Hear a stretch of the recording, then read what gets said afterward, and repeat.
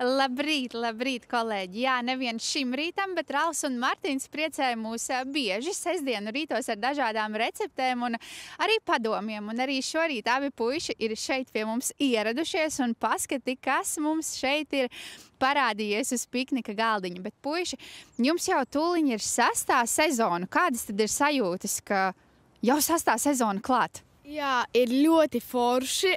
Man ļoti arī patīk tas, ko mēs darām.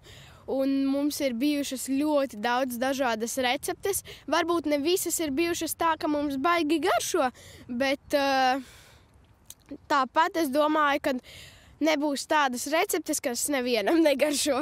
Kuras ir jūsu mīļākās receptes, Martin? Varbūt kur ir tavējā mīļākā? Es nezinu, jo man eh, ļoti daudz receptes ļoti garšo.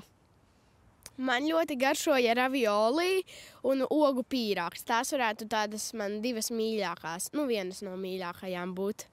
Bet tagad tuvojas lieldienas, un parasti, kad jūs gatavojat, jūs arī dodaties kaut kur ciemos, kaut ko izpētat, vai par godu lieldienām arī jūs kaut kur brauksiet un kaut ko interesantu mums parādīsiet. Jā, mēs nebrauksim pie lieldienu zaķa, bet nu, mēs brauksim skatīties, kā dzīvo paipalas. Un to mēs varēsim redzēt sestdien, vai ne? Un ā, kas ir tāds varbūt interesants un garšīgs, ko varētu pagatavot lieldienās? Jā, nu mums, jūs jau sestdien varēsiet skatīties recepti. Uh, jā, manuprāt, tas ir ļoti garšīgi. Nu, tikai tas, ka uh, varbūt nedaudz vairāk laika tas prasīs, jo tur ir ilgi jācep diezgan, bet nu, tāpat. Un ko mēs varam redzēt šeit? Es redzu, te ir tāds zaļš krokodils. To arī var ēst. Nē, Nē, Nē to nevar ēst.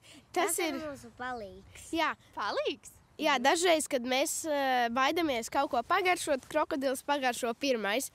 Viņš kādreiz paslēpjas kaut kur, dažreiz kaut ko apēd, pagaršo vēl arī uh, gatavošanas laikā. Viņš vienreiz paslēpās zirņos. Zirņos, bet zirņi ir zaļi. Noteikti grūti bija atrast. Jā, Zirņi es nevarēju dīkstos. atrast. Es nevarēju atrast. Un uh, ko jūs paši vislabāk gribētu ēst lieldienās? Vistoles, šokolādes olas vai varbūt tomēr kaut ko citu? Visas solis pēc kārtas. Visas pēc kārtas. Nu, labi, un varbūt tad mēs arī varam sasisties ar olām. Jā, noteikti. Nu, izvēlieties. Labi, es ņemšu šo. Tā, nu man liekas, ka šī varētu būt visstiprākā. Sāc. Sit man pa. Oh, zaudēju. Labi, Martin, es tev. Otrādā griez. Labi. Kādā griež? Labi, iesietamies mēs. Es tev. Labi. Kas tev par spēcīgu? Tagad es tev. Varbūt tev ir koku ola? Nē. Nē? Kāds ir tavs stiprās olas noslēpums? Man nav tāda.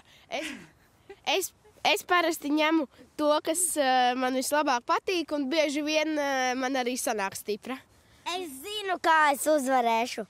Jo es ņemšu tagad šo olu. Labi, citu man. Nē. Labi, paldies. Mēs gan dosimies vēl pameklēt vēl kādas olas vai zaķis nav atstājis. Un, jā, paldies, puiši. Lai visiem priecīgas lieldienas.